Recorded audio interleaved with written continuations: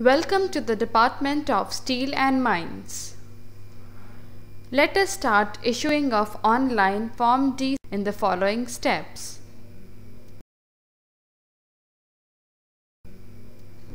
Click on the new licensee registration link on the home page. Under online registration, click on the link registration for new license. If you are an existing lessee or licensee, you are required to log into the i3ms portal using your existing user ID and password. If you are a new user, please click here to register for new license. The user is redirected to the Apply for New License screen. Enter the applicant name in the text box provided. Enter the applicant address in the given space. Enter the district in the text box provided. Select the state from the drop-down list. Enter the PIN code in the given text box. Enter PAN card number in the text box provided. Upload the PAN card copy by clicking on the Browse button and uploading the file. Enter applicant's mobile number in the given space. Enter email ID of the applicant in the text box provided. Select the security question from the drop-down list. Enter the answer in the text box provided. Confirm the answer by providing the same answer in the next text box. Enter the shown CAPTCHA text in the given text box. Click on the Register button to register for new license. Click on the Reset button to reset the data. Let us click on Register. A notification appears for successful registration in i3ms and an acknowledgement number is provided. The user ID and password has been sent to the email ID and SMSed to the mobile number. Please note down the acknowledgement number for further reference. The next step is to log into the i3ms portal by using the user ID and password sent through email and SMS. Click here to log in. In the following screen, click on the New License button. The new licensee can log in through his provided user ID and password. If the user is using it first time, click here to get login information. Enter the acknowledgement number in the given space to get login information. Click on the Show button. The earlier security question chosen is asked. Enter the answer to the security question in the given space. Click on the Get Login Info button to get the information to log in. The user ID and the password is provided for login. Click here to login. Enter the new licensee user ID and password in the text boxes provided. Click on the Submit button. The user is redirected to a successfully logged in page. The user is required to change his password and update information for better communication. With the provided user ID, enter the new password in the given space. Enter confirmed new password in the given space. Enter name of the in charge who would be in charge of this IT intervention. Enter his designation in the next text box provided. enter the email ID in the text box provided. Enter alternate email ID in the text box provided. Enter mobile number of the in charge in the given space. Enter alternate mobile number in the given space. Enter stationed at in the given space. If the user wishes a copy of communication to be marked to any additional person, then provide the following information. Fill in the details for additional person in the text boxes provided.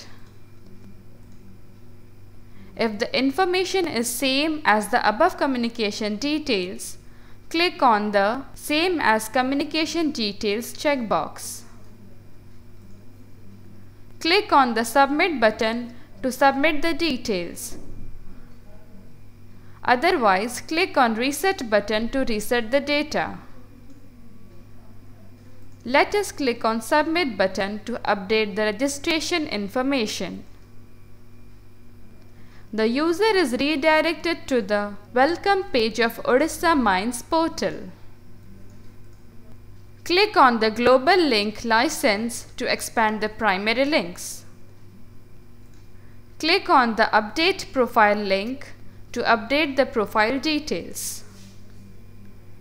Make changes in the respective fields and click on the update button. The data is updated successfully.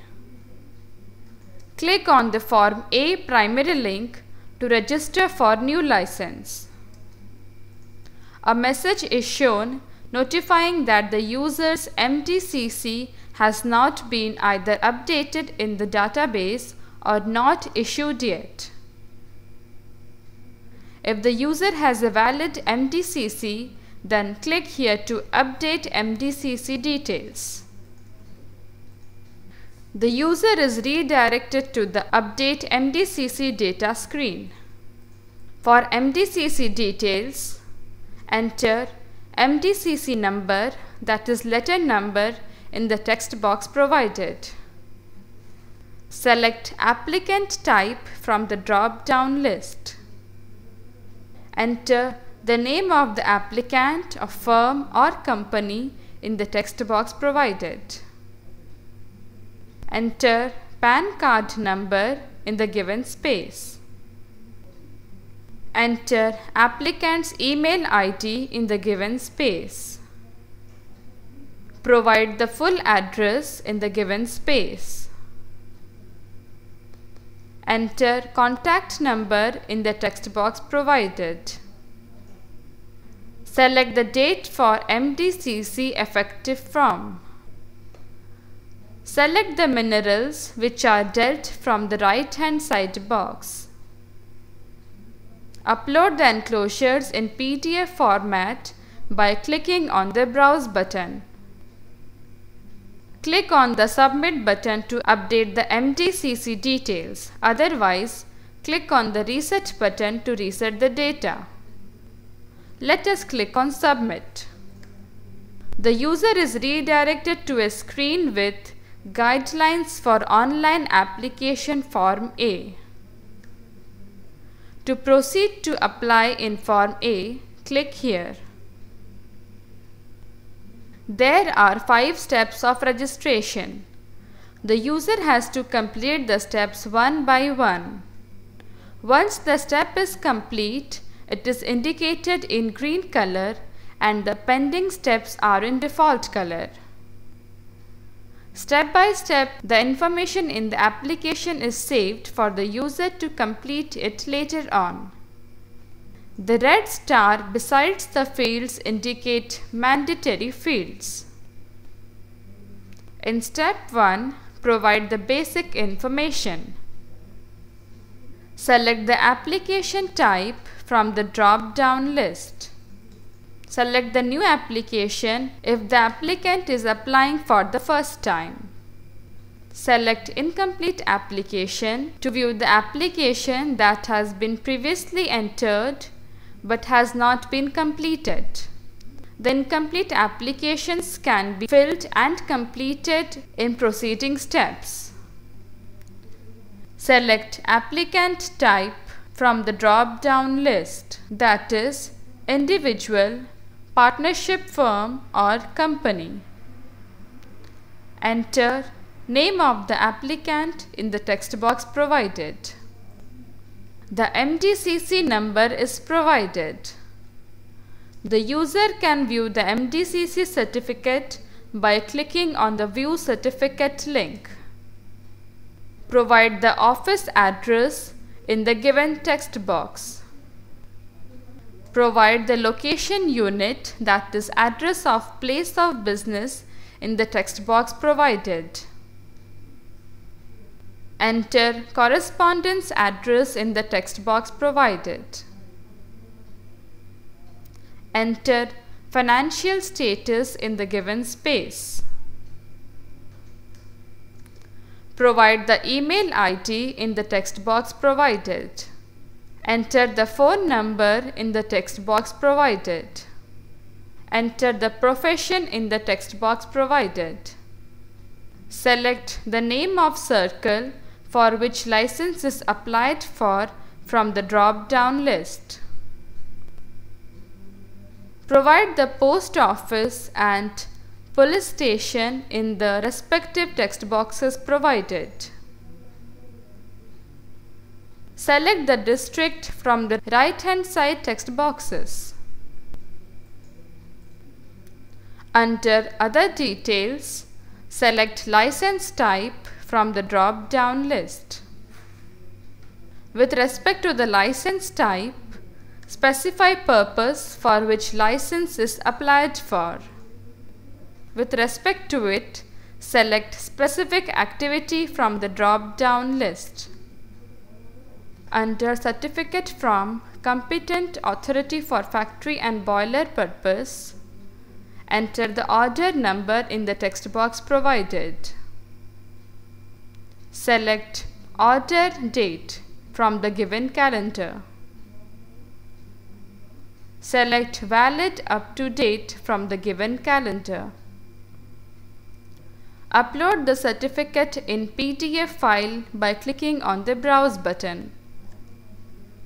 For DIC details, enter the DIC registration number in the text box provided. Upload the DIC file in PDF format. Enter PRC registration number in the given space. Upload PRC copy in the PDF format.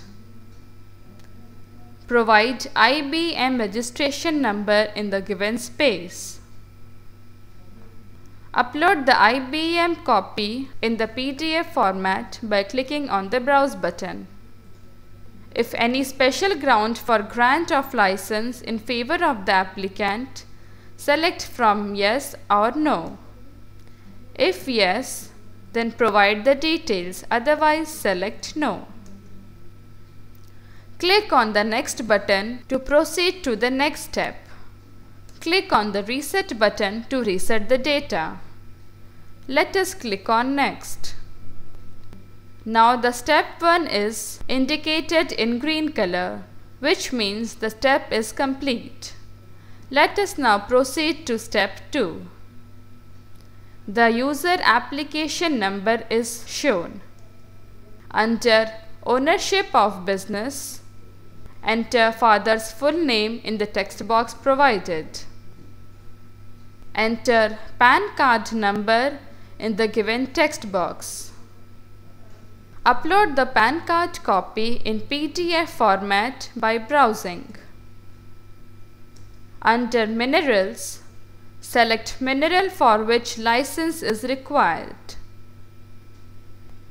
Under Firm Details, enter name of person or firm from whom the minerals or ores will be purchased or procured. Upload the consent of mine owner or licensee for supply of minerals or ores in the PDF format under specific place or places of business, In case of depot for sharing, whether the plots are converted for commercial utility, select from yes or no. Whether the land belongs to landowner or hired plot, select from own land, hired plot or port railway. If hired plot is selected, then provide the terms of hiring. Upload the consent of tenant, agreement copy of owner of the land and user agency for utilization of the land for stockyard purpose. Under other documents, select the date of consent of the Railway Authority for utilization of railway. Click on the Browse button and upload the file in PDF format. Click on the Browse button and upload the copy for Plot Allotment Letter of Port Authority. Click on the Next button to proceed to the next step. Click on the Back button to go back to the previous step. Click on the Reset button to reset the data.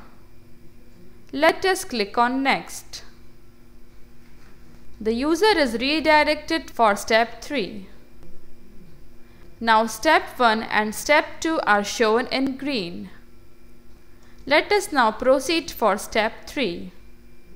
The star marks are the fields exempted for T1, T2, M2, M3, B2 and C2. Under Khata details, Select the district from the drop-down list. Select the block from the drop-down list. Select the respective village from the drop-down list. Enter the Khata number in the text box provided. Click on the Add Khata Number button to add the details. The Khata details are added. The details can be edited or deleted by clicking on the respective button. For editing, click on the Edit button against respective data. Make changes in the respective fields and click on the Update button. A message box appears saying Data updated successfully. Click on OK to continue. Similarly, a record can be deleted by clicking on the delete link with respect to the record. Click on the next button to proceed for next step. Click on the back button to go to the previous step. Click on the reset button to reset the data. Let us click on next. Step 1, Step 2 and Step 3 are shown as completed. Let us now proceed for step 4. The fields that have red mark are exempted for T1, T2, M2, M3, B2, C2. Under plot details, select the district from the drop-down list. Select the respective block from the drop-down list. Select the village from the drop-down list. Select the concerning Khata number from the drop-down list. Enter the plot number in the text box provided. Select the Kisham from the drop-down list. Provide area in hectare in the text box provided. Click on the Add Plot Number button to add the plot details. The plot details which have been added can be viewed. To the Edit plot detail, click on the Edit link respectively. Make changes in the fields and click on the Update button. A message box appears saying Data updated successfully. Click on OK to continue. Similarly, a record can be deleted by clicking on the Delete link. Upload the map sketch of the area in PDF format by clicking on the Browse button. Click on the Next button to proceed for next step that is step 5. Click on the back button to go back to the previous step. Click on the reset button to reset the data. Let us click on next. Now the steps from step 1 to step 4 are shown as completed. Let us now proceed for step 5. The fields that have been star marked are mandatory fields. The MDCC clearance details are shown such as order number, date of issue, validity and certificate. The user can click on the view certificate link to view the MDCC details. Under OSPCB clearance, enter the application number in the text box provided. Select the application date from the given calendar. Upload the application in the PDF format. Consent to establish of OSPCB under Air Water Act. Enter the order number in the text box provided. Select the order date from the given calendar. Select validity up to from the given calendar. Upload the clearance order in PDF format. For consent to operate of OSPCB under Air Water Act, enter the grant order number in the text box provided. Select grant order date from the given calendar. Select valid up to from the given calendar. Upload the clearance order in PDF format. Under VAT clearance, enter the VAT TIN number in the text box provided. Select the date of deposit from the given calendar. Upload the document for VAT in PDF format. Under IT return, select the financial year from the drop-down list. Upload the document for IT return in PDF format. Under Other Details, select the affidavit date from the given calendar.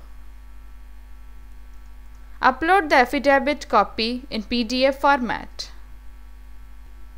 Enter voter ID, passport or residential certificate number. Upload the respective file in PDF format. Click on the Save and Proceed button to save the data filled up till now and proceed for further steps. Click on the Save as Draft button to save the data filled up till now in draft mode. Click on the Back button to go back to the previous step. Click on the Reset button to reset the data. Let us click on Save and Proceed button. The user is redirected to the Make Payment screen. Along with the application number, fees to be paid for the application can be viewed. Enter the application fees which has to be paid for the license in the text box provided. Click on the link View Form A details to view the applicant details under Form A. Click on the Challan Payment button to make the necessary payment for the registration through Challan mode. Click on the Online Payment button to make the payment through online mode. Click on the Back button to go back to the filled in form. Let us click on the Challan payment. In the Challan details screen, the application number is shown. Enter the Challan number in the text box provided. Select the Challan date from the given calendar. Enter the Challan amount in the text box provided. Upload Challan copy in PDF file by clicking on the respective Browse button. Click on the Submit button to save and forward the challan details for the respective payment. Otherwise, click on Cancel. Let us click on Submit. The challan details can be viewed. Click on the Edit link to edit and update the challan details. Make changes in the respective fields and click on the Update button. Otherwise, click on Cancel to cancel the updation. A message box appears saying Details updated successfully. Click on OK to continue. Click on the link under Challan Copy to view the PDF file of the Challan copy. Click on the Forward Application button to forward the application to the next higher authority DDM for initial verification. A message box appears asking, Are you sure to forward application? Click on OK to forward the application, otherwise click on Cancel to cancel the operation. Let us click on OK. A message appears saying the payment has been done successfully and that the application has been forwarded to the concerned DDM. The message provides the user's application number. The rest details will be sent via email ID. After the initial verification, the user can log in and under View Form A primary link can view the status of the request for new license. The user can select his circle and click on the Show button to view specific request status. Application details such as application number, apply date, applicant name and status as action to be taken by DDM can be viewed. Click on the Check Profile link. The request details can be viewed. Go back and click on the download form link. Out of the many forms, the user can download form A by clicking on the respective link.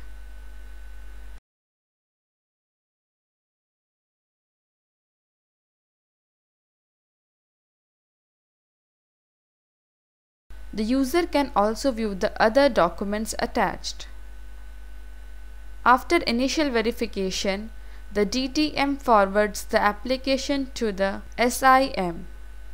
The user can view the status as action to be taken by SIM. Click on the download form link. Now form B is available for download that is the acknowledgement of the receipt of application for license. After acknowledging the application will be forwarded to DDM for physical verification. The user has to produce his requested documents and other documents to the DDM. Until physical verification, the user can view the status as action to be taken by the DDM. After the verification is complete, the DDM issues terms and conditions and NSC copy to the user. The user can view the status as action to be taken by DDM. Click on the download form link and download the form for terms and conditions and NSC copy. The user has to scan it, sign it and upload the copies to be sent to the DDM as a sign of accepting to the agreements.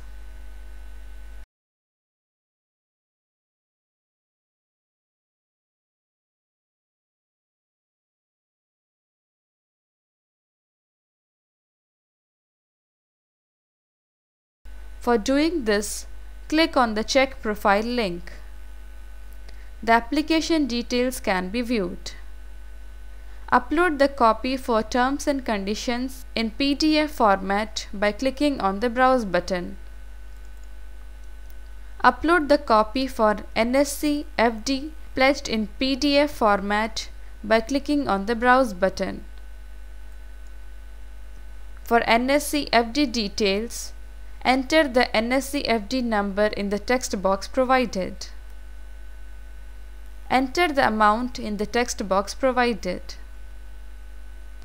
Enter the post office or bank name in the given text box. Click on the Add More button to add the details. Similarly, the details can also be removed by clicking on the Remove button. Click on the Submit button to accept to the terms and conditions. Otherwise, click on Cancel to cancel the operation. Let us click on Submit. A message box appears saying Terms and Conditions Accepted.